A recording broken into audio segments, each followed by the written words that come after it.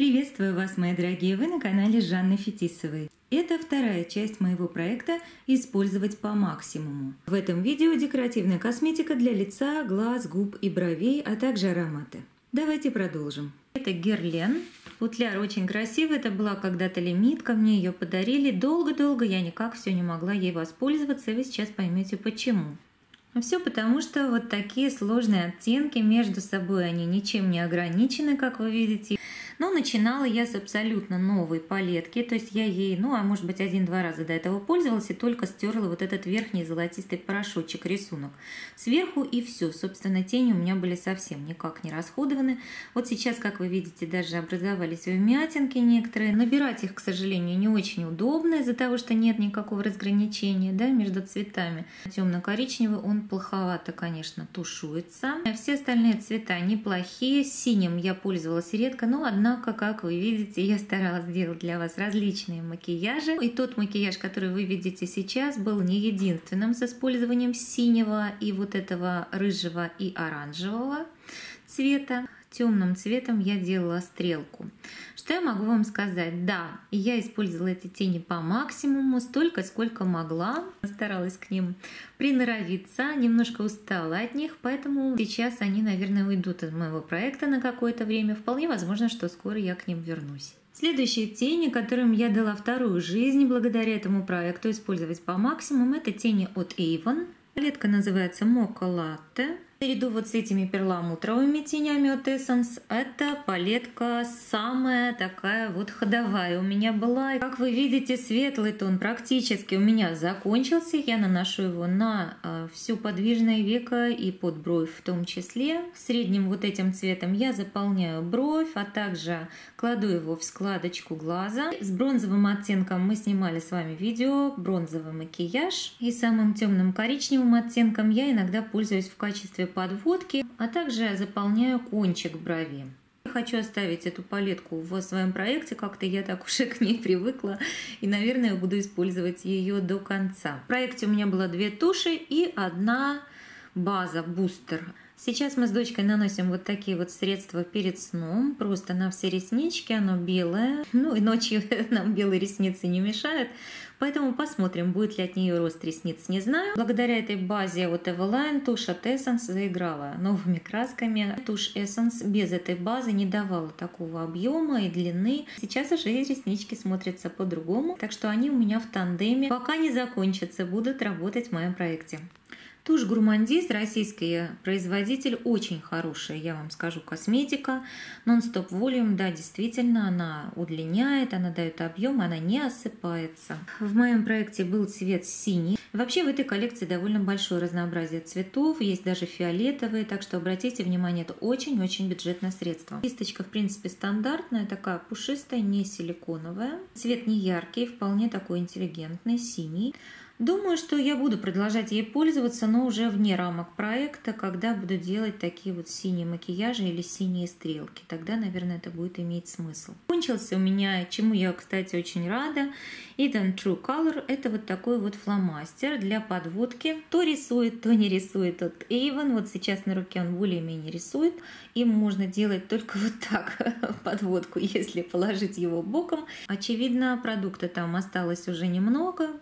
И сейчас я уже с ним прощаюсь, буду считать его миссию в моем проекте законченной. Следующее, что было у меня, это два вот таких вот карандаша. Оба они от Литуаль, как вы видите. Один в синем цвете, один в цвете какао. И начиналось использование этого карандаша вот с этой отметочки. В общем, сейчас у меня уже вот столько использовано. Идет он, естественно, медленно. Макияжи синие я делаю не часто. Поэтому он обратно перемещается в общую мою коллекцию карандашей для глаз. И думаю, будет он у меня уходить ходить очень-очень медленно, к сожалению. Вот отметка коричневого карандаша от Литуаль, с чего я начинала. Как вы видите, одна треть ушла этого карандаша. Немножко отблеск имеет. Ну, естественно, что карандаш коричневый для нюдовых макияжей, для вечерних я использую гораздо чаще, чем синий. Поэтому, возможно, даже он останется в моем проекте, не знаю, буду думать. Но в любом случае радует то, что одна треть этого карандаша уже ушла. Карандаш белый от Ева Мозаик, Ньютон называется. Я использовала под бровь, а также на водную линию. С одной стороны у него, как вы видите, кисточка. Она, кстати, хорошая. Я думаю, когда карандаш закончится, кисточку я оставлю. Для водной линии, конечно, это очень-очень светлый, яркий такой цвет, да, поэтому он у меня медленно шел.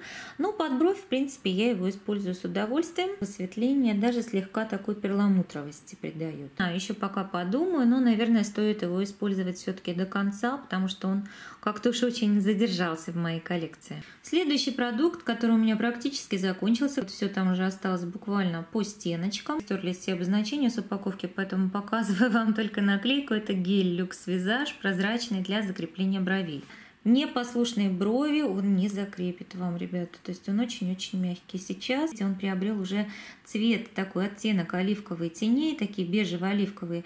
И, соответственно, сейчас он уже делает мне какую-то седину такую легкую на бровях, поэтому сейчас я пытаюсь его использовать в начале, перед нанесением всех-всех-всех средств, и потом уже заполнять бровь. Это, конечно, не очень удобно. Там буквально вот капли остались по стеночкам. Увы, пока он у меня еще не закончился, я буду его использовать упорно упорно до конца. Сейчас плавно переходим к губам. Следующее, что было в моем проекте, это два вот таких карандаша. Один из них от Lux Visage, это номер 46, и второй от Golden Rose под красные помады, которые есть у меня, он в номере 513. Вот отметочка карандаша Golden Rose, с чего я начинала. И давайте померяем. О, да, одна треть у нас с вами уже ушла, чему я очень рада. Возможно, пока стоит оставить его в проекте, потому что это единственный красный карандаш, который которые есть у меня сейчас, а у меня еще остались помады красного цвета в проекте, поэтому да, наверное, мне нужно его оставить. Вот так выглядит карандаш от Lux Visage, очень красивый, кремовый, очень приятный нюдовый розовый такой цвет.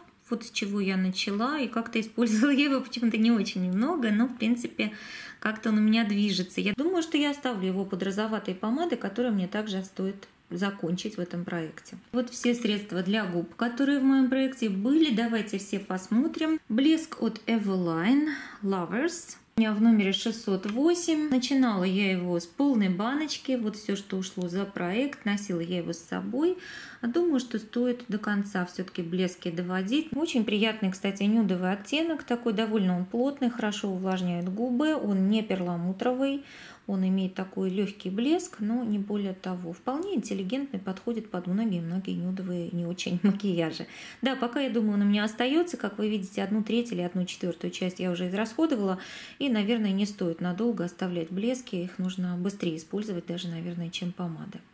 Помада от Dior оставалась у меня немного, и так практически она у меня не ушла, но вот буквально совсем чуть-чуть. Это серия Rouge Dior номер 312. Несмотря на то, что она выглядит такой довольно кремовой, мне она немножко подсушивает губы, поэтому я часто ей не пользуюсь, ну, либо накладываю на какую-то уже увлажняющую помадку, какую-то гигиеническую помаду. В общем, приноровиться к ней нужно. Наверное, стоит оставить ее в проекте. Она у меня уже очень давно в коллекции. Ну да, буду пытаться ее использовать до конца. Следующая помада мне очень-очень нравится. Вообще вот эта серия Диваш Пролине, я знаю, нравится многим из-за своей такой кремовости. Очень приятно лежит на губах. Также спасибо огромное производителю, что ставит вот такие вот четкие сроки годности. Эта помада у меня уже практически закончилась. Вот столько я использовала ее. Вот такой у нее чудесный цвет. Использую с удовольствием до конца, оставляю в своем проекте. Помада от Avon. Цвет мне очень-очень нравится. Освежающий, кораллово, персиковый, шикарный. Но посмотрите, что с помадой. Я уже пыталась ее измораживать она ломается, она гнется, она отваливается. Уже со всех сторон она бедная у меня измученная. В общем, открывать ее страшно. Кстати, здесь вот такое окошко. А, страшно носить с собой, потому что она, не дай бог, откроется сломается. Кому интересен цвет, посмотрите, пожалуйста, Golden Kiss. Насколько я понимаю, это цвет или это серия называется. Ну, скорее всего, это цвет. Старалась я ее использовать все-таки по максимуму. Вот отметочка ее, и довольно много ушло. Кстати говоря, этот цвет полосит у меня на губах, потому что у меня очень яркие губы природно. Кто-то из вас даже спрашивал, не тату ли это? Нет, это не татуаж губ, это у меня вот такие яркие губы. Поэтому я, может быть, и хочу вот такие вот цвета носить, но они на мне полосят. Даже не знаю, что делать. Возможно, придется расстаться с этой помадкой. Может быть, если дочке она понравится, у нее чуть посветлее такие губы, у меня более темные, у нее чуть-чуть посветлее. С другой стороны, тип пользоваться ей не очень удобно, то ли кисточкой. В общем, не знаю как, пока подумаю. По крайней мере, ушла она у меня хорошо, почти половину я использовала. Скраб для губ был у меня абсолютно, он полный, просто вот абсолютно. Вот столько я использовала, то есть одна треть примерно. Кофе с сахаром, очень приятное по аромату и по ощущению на губах. Хорошо он э, очищает губки от э, мертвевших клеточек. Очень приятное такое ощущение.